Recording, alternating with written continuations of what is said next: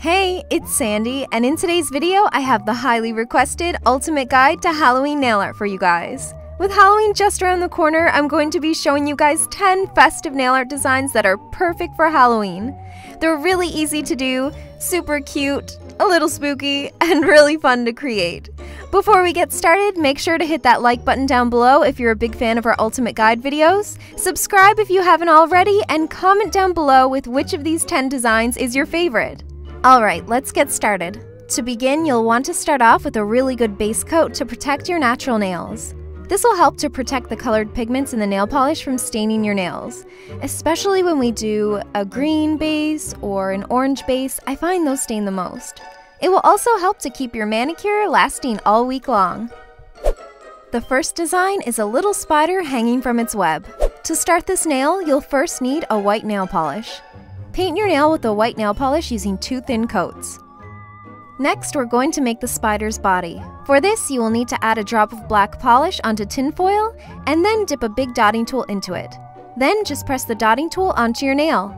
For the web, I'm going to be using a black striper. I prefer to use striping polishes when making long straight lines. With a little polish on the brush, add a thin web from your cuticle to the spider's body. Next, he's going to need some legs. So I'm using my favorite little nail art brush from Mini. I find it a lot easier to use a small nail art brush when I need to make small curved lines. Go ahead and add the spider's eight legs. And there you have it, the first design is complete.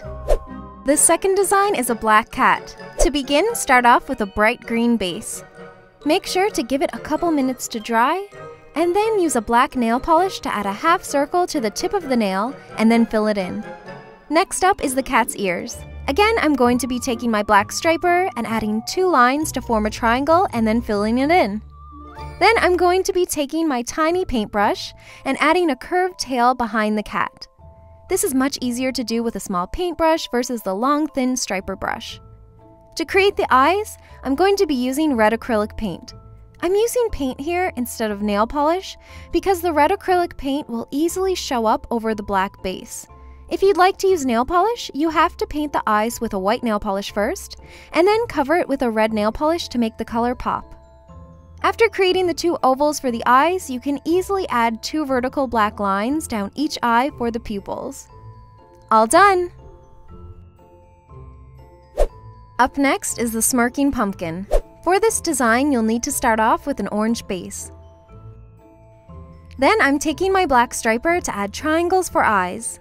I added some little black dots to help center and guide me in creating the triangles. I did this while my hand was facing me. This is a really great tip if you want to get the perfect placement on your nail.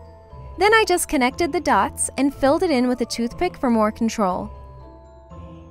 To create the smirk, just swipe the striper across the nail and then add in some creepy stitches.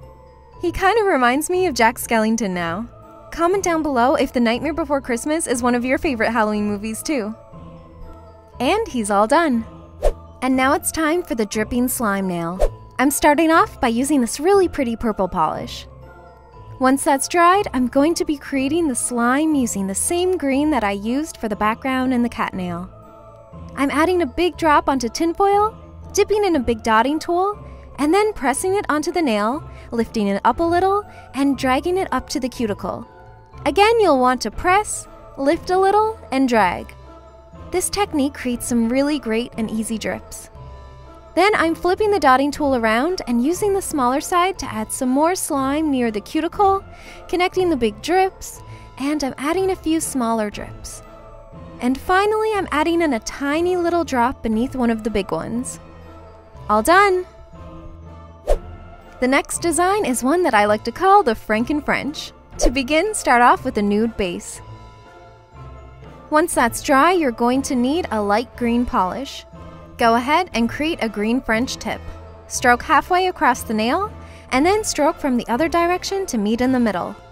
Using the black striper, I'm adding in a few stitches. You can make these random. Some can go to the left, some to the right, and some can overlap as X's. Trivia time! Who's Frankenstein? The doctor or the monster? Take your guess in the comments below. And now the first hand is done, minus the top coat. Moving on to the other hand, the next design is a pair of creepy eyes. Begin by painting your nail black. Then place a drop of white nail polish onto tinfoil and dip a big dotting tool into it. Press two times, overlapping the dots slightly to create the cartoon eyes in the dark. Next, you'll need a bright red nail polish. Again, add a drop to tinfoil and dip the smaller side of the dotting tool into it. Then you can finish the eyes by adding red pupils like so. Pretty easy! Next is one of my favorite Halloween designs and treats, candy corn. Begin by painting your nail white. Once that's dry, use an orange striper to draw two horizontal lines across the middle of the nail. Then fill it in. Next, use a yellow striper to color in the tip of the nail. This is actually my second time doing this nail because the first time I mixed up the orange and the yellow stripes, so make sure you do a white stripe, an orange stripe, and finally a yellow stripe. The eighth design is a glowing ghost. Start by painting your nail white. Give it a couple minutes to dry, and then layer on two coats of a glow-in-the-dark nail polish. Okay, so I'm editing the video right now, and I notice that every time I press the brush onto the nail, it glows a bright white. And I've been watching Stranger Things all day, so I'm a little creeped out. By the way, if you haven't seen our latest video on how to create your very own custom glowing nail polish at home, make sure to click the link in the description box after you watch this video. Minnie will show you how she creates her very own customized glow-in-the-dark nail polishes, and it's pretty cool! Okay, back to the ghost. Take a black polish, add some to tinfoil, and dip a tiny dotting tool into it. Use this to easily create the ghost's eyes. For the mouth, dip the big side into the black, and then drag the dotting tool down the nail to create an open mouth. Finally, use a black striper to add some surprise-looking eyebrows. And that's it! The ninth design is a creepy and fun blood splatter nail. As usual, begin with a white base. Allow it to dry, and then prepare your nail for splattering. Here I'm using these easy peel-off tape barriers by Mitty. I love these because they're latex-free, they're odorless, and they have no drying time. Once you've pressed it around your nail, you'll need some red polish and a drinking straw. Add a really big blob of red polish onto some tinfoil and then scoop up some nail polish into the straw. Make sure you scoop instead of just dipping. It should look like this. Then position the straw over your nail and blow into it. Keep scooping the polish and blowing into the straw until you're happy with the design.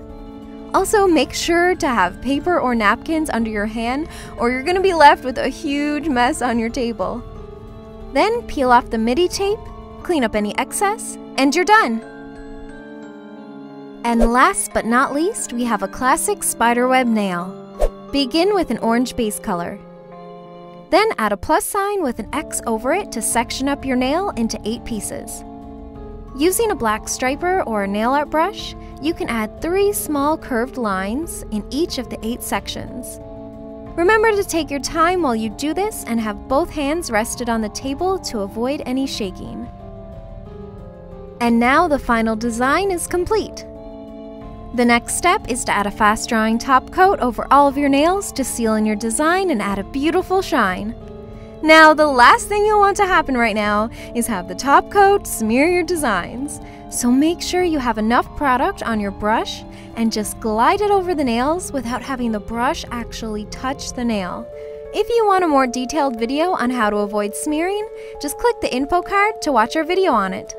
And there you have it, 10 super cute, fun, and slightly spooky nail art designs for Halloween.